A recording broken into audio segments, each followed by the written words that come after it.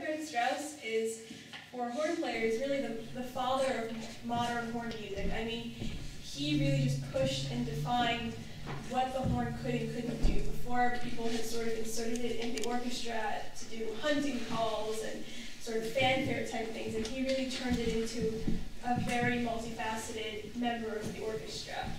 And I think a large part of that is due to the fact that his father was a horn player. And there's a really funny story about that. When he was, he composed uh, a very famous tone poem called uh. And it begins with this very famous horn solo that just sort of goes all over the horn. And he showed it to his father and said, look, look what I've made for you. You can play this right at the beginning and it's really great. And his father looked at him and said, I can't play that. No one can play that. The horn can't do that. And Richard said, of course you can. You do it every morning. That's your warm-up. I hope you enjoyed it.